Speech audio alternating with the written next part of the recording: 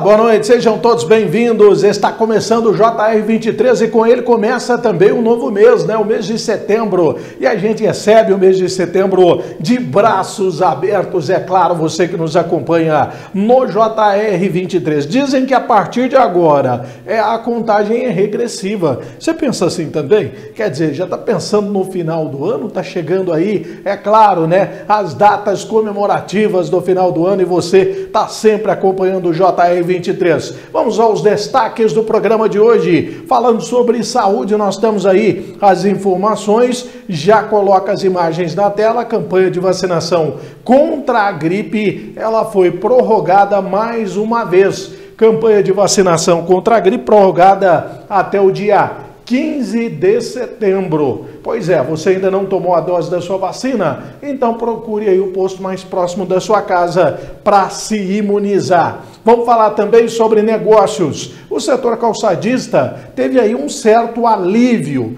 já que foi aprovada na Câmara né, é, dos Deputados a desoneração a prorrogação dessa desoneração. Para resumir, o que, que significa?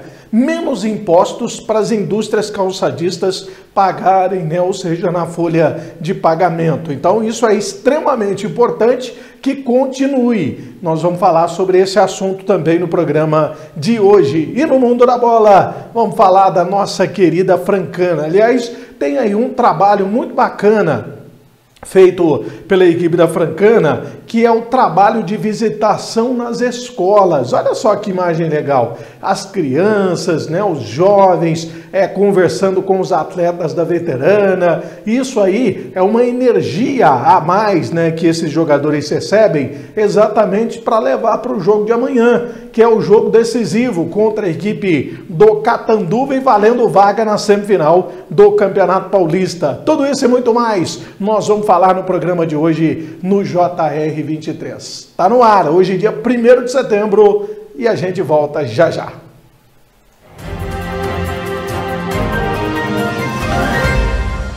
Quem vive em Franca sabe bem de onde vem o orgulho de estar aqui.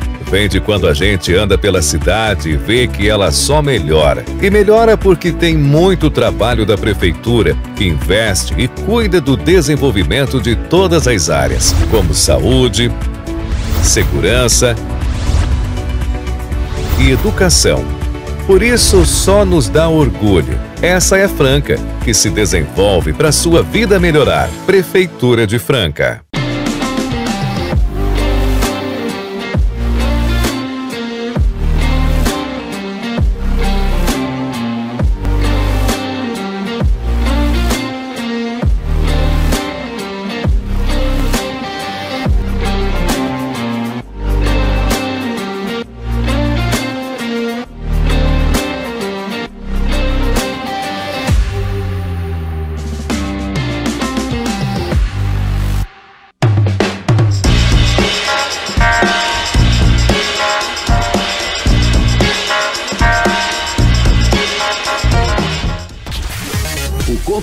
Mais completo de Franca e região. www.portaldefranca.com.br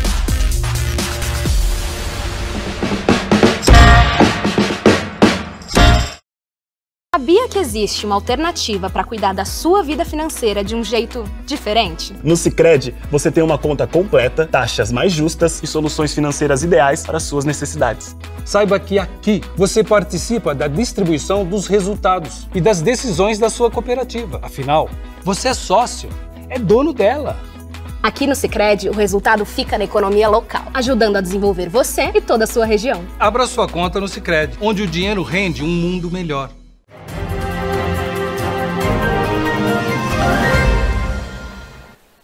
Estamos de volta aqui no JR23, sempre trazendo as informações do dia a dia para você que nos dá o privilégio, né? Audiência qualificada aqui na TV Franca, começando aí o mês de setembro com um puxão de orelha para aquelas pessoas que ainda não se vacinaram contra a gripe e ela continua matando, né? Nós tivemos aí pessoas que perderam a vida é, devido às complicações causadas pela gripe.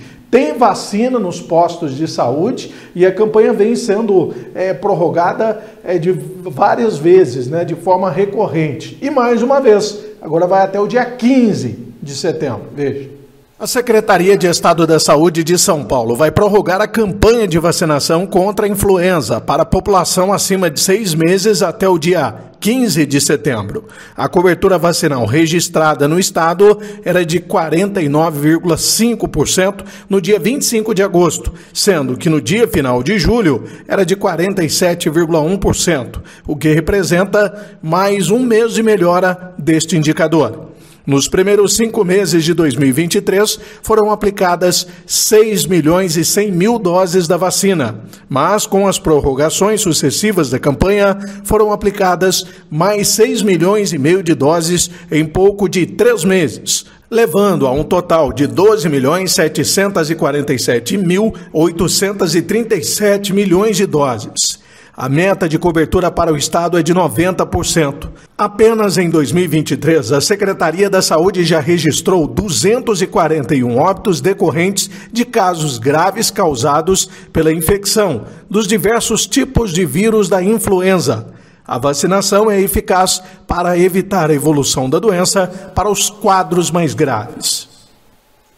Sete horas e seis minutos para você que nos acompanha aqui no JR23. É importante que as pessoas procurem né, os postos de vacina. Aqui em Franca, aliás, as vacinas estão sendo disponibilizadas no horário estendido, né, das 8 da manhã até 7 horas da noite. Então dá para a pessoa é, sair do trabalho, procurar o posto de vacina e se proteger é, contra a gripe. É uma situação realmente importante. Aliás, não só contra a gripe, nós continuamos falando também a respeito de outras doenças, como por exemplo, tem gente que acha que a Covid desapareceu. Não, ela não deixou de existir. É graças à vacinação que realmente a situação foi melhorando, mas existem subvariantes que estão sendo confirmadas e as pessoas têm que continuar. Assim como você toma vacina para a gripe e as demais vacinas, tem que continuar também se vacinando contra a Covid. Veja só. Nas ruas de várias capitais brasileiras, tem gente que ainda não dispensa o uso da máscara diante de qualquer sintoma da gripe ou mesmo da Covid. Eu sou muito alérgica, né? E também estou vendo falar em muitos casos de gripe, né? Eu tenho comorbidade, tenho diabetes, primeiro para cuidar da minha saúde. Se a máscara no rosto pode ou não estar voltando, a testagem para a Covid tem diminuído. Só nesta rede de laboratórios de análises clínicas que tem unidades em várias cidades mineiras, a procura por exames da Covid caiu 42,9% neste mês de agosto, se comparado a julho. Mas a taxa média de testes positivos para a doença aumentou em 5,4%, atingindo a marca de 13,6%. Por que, a gente deve fazer o teste? É, né, e a gente vê que a procura pelo teste caiu muito é, nos últimos meses. Porque hoje no Brasil nós temos tratamento específico para Covid-19. Para influenza a gente já tinha. Então, quando a gente faz o diagnóstico diferencial, se você inicia precocemente o tratamento para Covid, especialmente entre o terceiro e o quinto dia, você vai diminuir é, a chance de quadro grave. Diante da nova cepa da Covid, a EG5 Eris, uma subvariante do Omicron, Infectologistas têm destacado a importância da testagem para que a doença continue sob controle. De uma forma geral, os testes ajudam a, a enxergar o cenário epidemiológico com mais acurácia.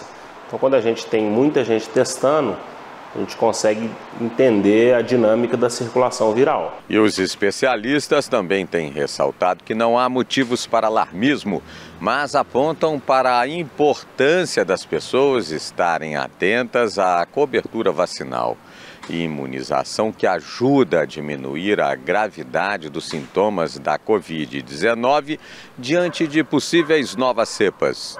É, as pessoas é, imunizadas para a Covid, elas é, pegam a, a, Covid, essas novas variantes, então assim, a neutralização é menor. Mas quando a gente compara os quadros é, clínicos dessas pessoas vacinadas com as não vacinadas, as vacinadas é, têm quadros mais leves. Então é importante a gente lembrar a população que a vacina bivalente de Covid ela está disponível nos postos de saúde, então as pessoas têm que fazer essa imunização. Aliás, durante a pandemia, né, o JR23 fez aqui, cumpriu com a sua missão, com o seu papel de levar informação, de esclarecer a população a respeito da, da Covid-19. E eu me lembro né, que na época eu comentava muito sobre os hábitos, usar álcool gel, fazer higienização, que são hábitos que eles ajudam não só a combater a Covid, mas diversas outras doenças. E tem muita gente que deixou de utilizar, né, de lavar as mãos, de fazer aquela higienização com álcool gel. Então tem que continuar. As pessoas é, são hábitos saudáveis, né, preventivos. Além disso, tomar as doses da vacina. 7 e 11, intervalo, já já a gente está de volta. Não saia daí.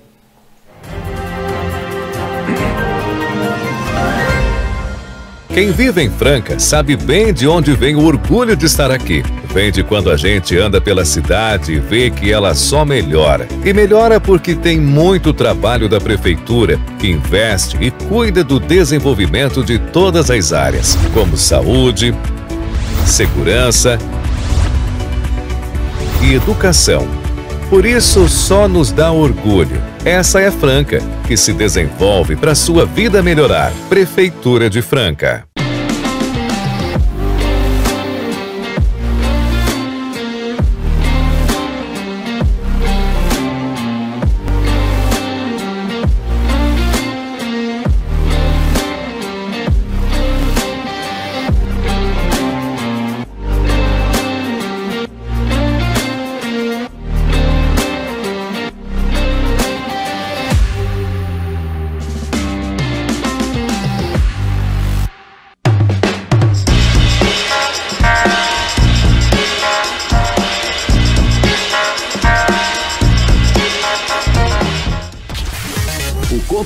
Mais completo de Franca e região. www.portaldefranca.com.br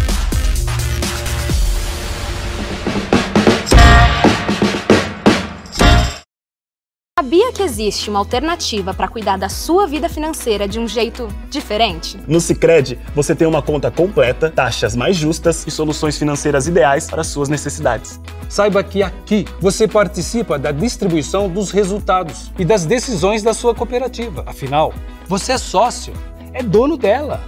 Aqui no Sicredi, o resultado fica na economia local, ajudando a desenvolver você e toda a sua região. Abra sua conta no Sicredi, onde o dinheiro rende um mundo melhor.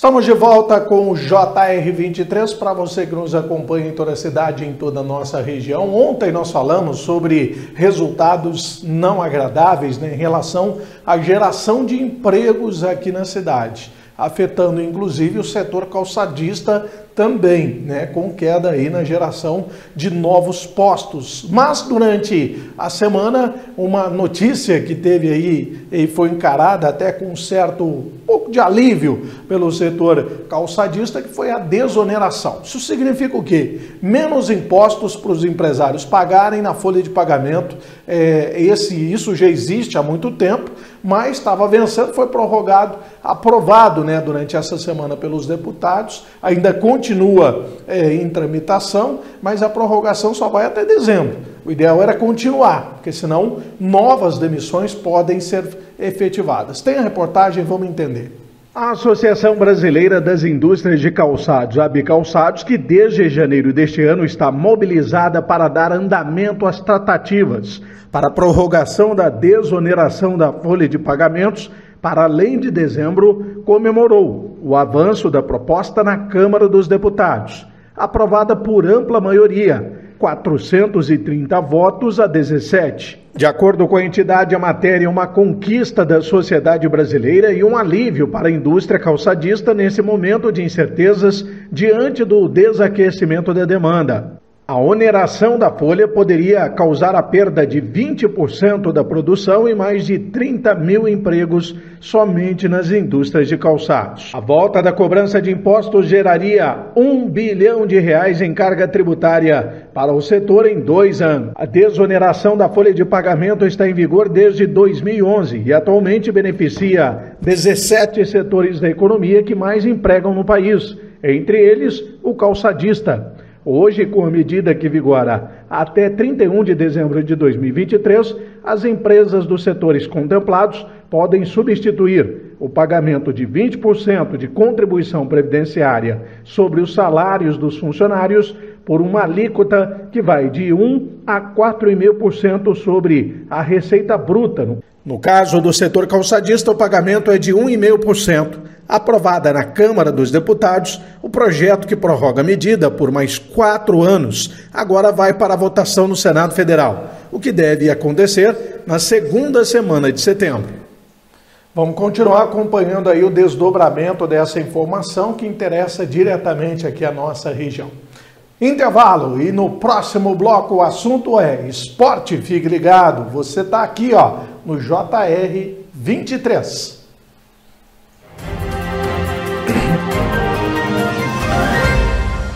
Quem vive em Franca sabe bem de onde vem o orgulho de estar aqui. Vem de quando a gente anda pela cidade e vê que ela só melhora. E melhora porque tem muito trabalho da prefeitura, que investe e cuida do desenvolvimento de todas as áreas, como saúde, segurança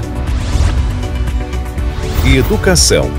Por isso, só nos dá orgulho. Essa é Franca, que se desenvolve para sua vida melhorar. Prefeitura de Franca.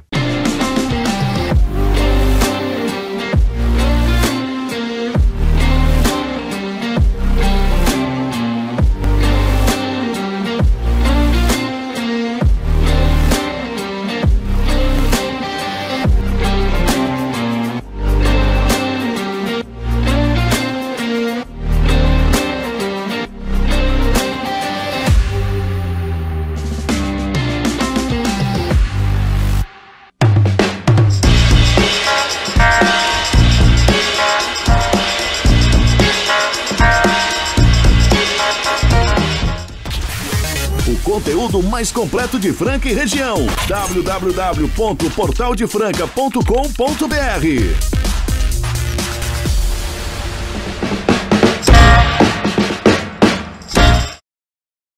que existe uma alternativa para cuidar da sua vida financeira de um jeito diferente? No Sicredi, você tem uma conta completa, taxas mais justas e soluções financeiras ideais para suas necessidades. Saiba que aqui você participa da distribuição dos resultados e das decisões da sua cooperativa. Afinal, você é sócio, é dono dela. Aqui no Sicredi, o resultado fica na economia local, ajudando a desenvolver você e toda a sua região. Abra sua conta no Sicredi, onde o dinheiro rende um mundo melhor.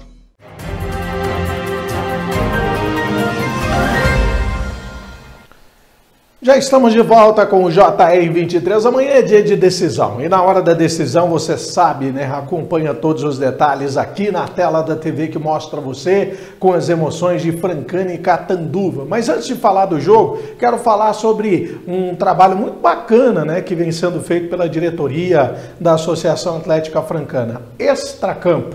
Dá só uma olhada. São visitas né, que os jogadores fazem nas escolas municipais, escolas estaduais, e isso aproxima é, o clube da, da população. A Francana já é muito querida pela população, mas os jovens, né? Você está vendo aí pelas imagens, olha só que bacana. Esse contato direto do jogador com os jovens, né? Vai, é claro, despertando esse interesse, essa paixão, e é claro, vai ganhando cada vez mais esses torcedores que é, com certeza vão mandar essa energia positiva para a equipe da Francana, que tem um duelo dificílimo amanhã contra a equipe do Catanduva, valendo vaga na semifinal. Muito bacana isso aí que foi feito durante a semana pela, pelos jogadores da Francana e também pela diretoria da Francana. Já cola as imagens, né? E aí agora a gente já vai ver também é, os jogos que movimentam essa segunda rodada decisiva que definem os semifinalistas do Campeonato Paulista Sub-23. Tem amanhã, dia 2, 3 horas da tarde, o Grêmio São Carlense com a União Barbarense. A São Carlense é o único que venceu no primeiro jogo, né, por 1 a 0. Então joga em casa e tem aí a vantagem, inclusive, do empate para avançar.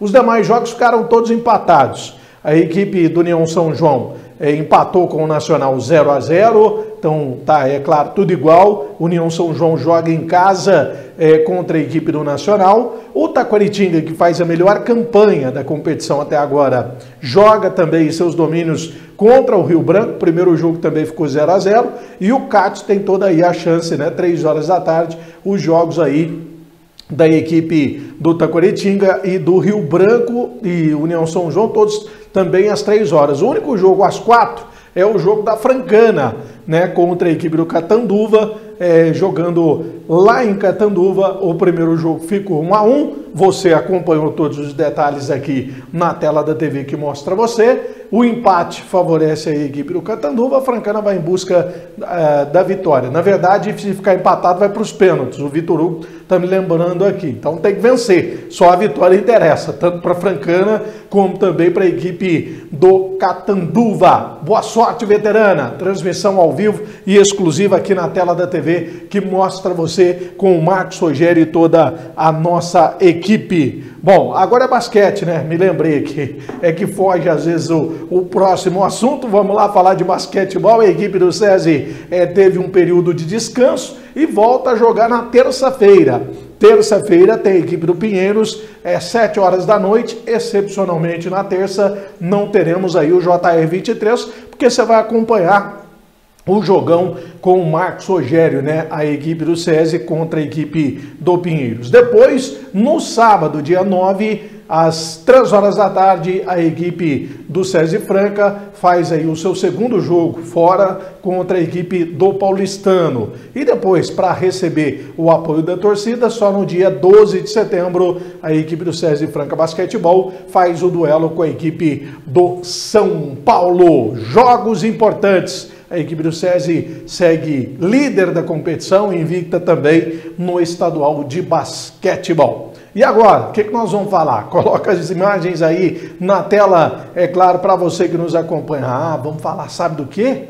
Corinthians e Palmeiras jogam nesse final de semana. Nada mais, nada menos do que Corinthians e Palmeiras, um duelo realmente muito importante pelo Campeonato Brasileiro, o Brasileirão. Bom, vamos começar então falando da equipe do Corinthians, que vem aí de classificação no meio da semana para semifinais da Sul-Americana, está garantido, foi no sufoco, foi no estilo Corinthians de ser, mas o técnico Vanderlei Luxemburgo tem destacado a força do elenco, principalmente o desempenho dos jovens que têm aí aproveitado a oportunidade, né, Luxa? Quando eu decidi não saí da Libertadores, eu acho que falei que eu não tinha time para disputar três competições, né? Aí veio a Sul-Americana e foi a oportunidade de eu colocar bastante jovens para jogar. E com isso eles amadureceram muito rápido. E tiveram coisas, é, é, situações complicadas. Jogar lá no Peru com um clima totalmente adverso, né? É, conquistar a vaga, é, tiveram mais minutos jogando num jogo internacional. Isso tudo vai, vai dando experiência para eles. Arbitragem, uma série de coisas que elas são importantes. Então hoje eu tenho um elenco é uma pena, nós não conseguimos passar, o São Paulo passou, né? Mas que a gente podia caminhar na Copa do Brasil para uma final e caminhar na Sul-Americana. 7 horas e 23 minutos para você que nos acompanha. Cortou aí o, o Vanderlei Luxemburgo? Deu para entender, né? Deu para entender que o Vanderlei Luxemburgo falou sobre os detalhes, as informações desse jogão, né? De Palmeiras e Corinthians, domingo, 4 horas da tarde, você acompanhando também todos os detalhes. Aqui o programa, é claro, produzido, apresentado, gerado de Franca para todo o Brasil e o mundo. Vamos falar do Palmeiras então? Coloca as imagens do Palmeiras. Falamos do Corinthians, já que esse é o clássico paulista da rodada do finalzão de semana. E aí a equipe do Palmeiras. Bom, se o Corinthians vem de classificação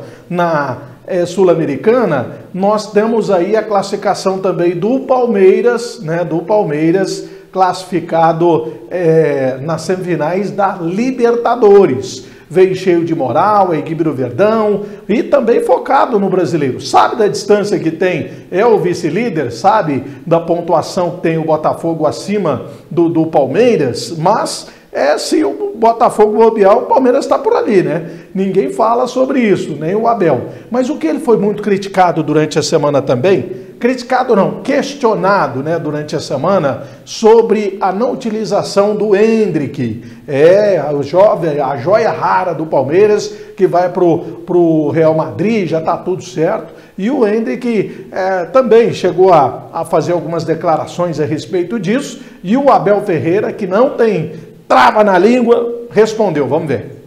Há duas posições no campo que são posições muito específicas, que é a de goleiro e de centroavante. São jogadores que têm que continuar a jogar constantemente. Um, um, e toda a gente sabe que nós neste momento temos um centroavante muito forte, que é o Rony, é muito difícil tirar-lhe o lugar por tudo o que ele representa para nós, quer com, quer sem bola. E não é fácil, quer para o Hendrick, quer para o Lopes, tirar o lugar a este jogador e ter dar-lhe uma sequência de 5, 6 jogos, que era o que eles precisavam. Os jogadores, eu sei que é que eles precisavam, mas Infelizmente eu não pergunto o que é que é melhor para o Lopes ou o que é que é melhor para o Hendrick. A pergunta que eu faço está lá bem grande para eu olhar é o que é que é melhor para a equipa de Palmeiras. Quando eu tenho dúvidas nas minhas decisões, eu pergunto sempre o que é que é melhor para a equipa de Palmeiras.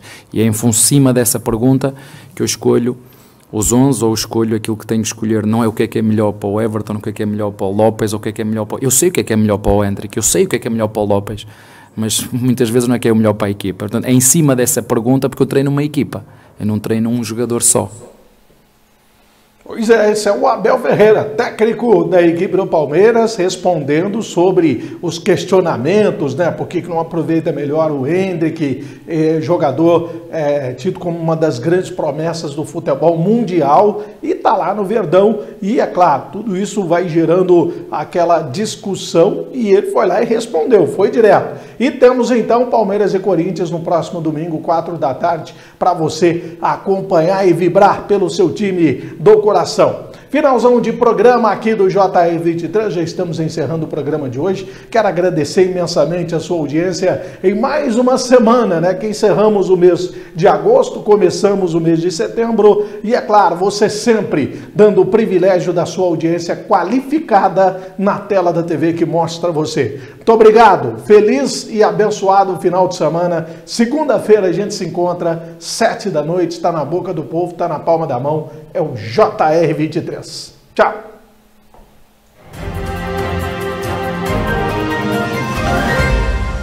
Quem vive em Franca sabe bem de onde vem o orgulho de estar aqui. Vem de quando a gente anda pela cidade e vê que ela só melhora. E melhora porque tem muito trabalho da prefeitura, que investe e cuida do desenvolvimento de todas as áreas, como saúde, segurança e educação. Por isso, só nos dá orgulho. Essa é Franca, que se desenvolve para sua vida melhorar. Prefeitura de Franca.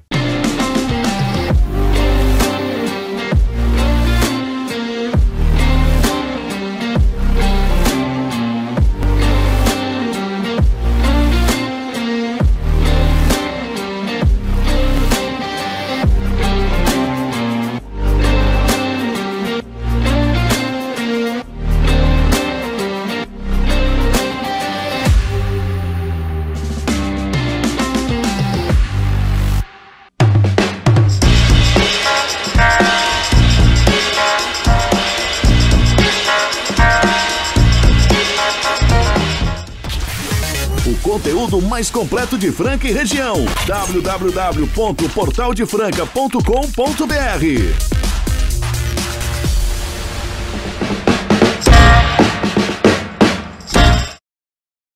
que existe uma alternativa para cuidar da sua vida financeira de um jeito diferente? No Sicredi, você tem uma conta completa, taxas mais justas e soluções financeiras ideais para suas necessidades. Saiba que aqui você participa da distribuição dos resultados e das decisões da sua cooperativa. Afinal, você é sócio, é dono dela.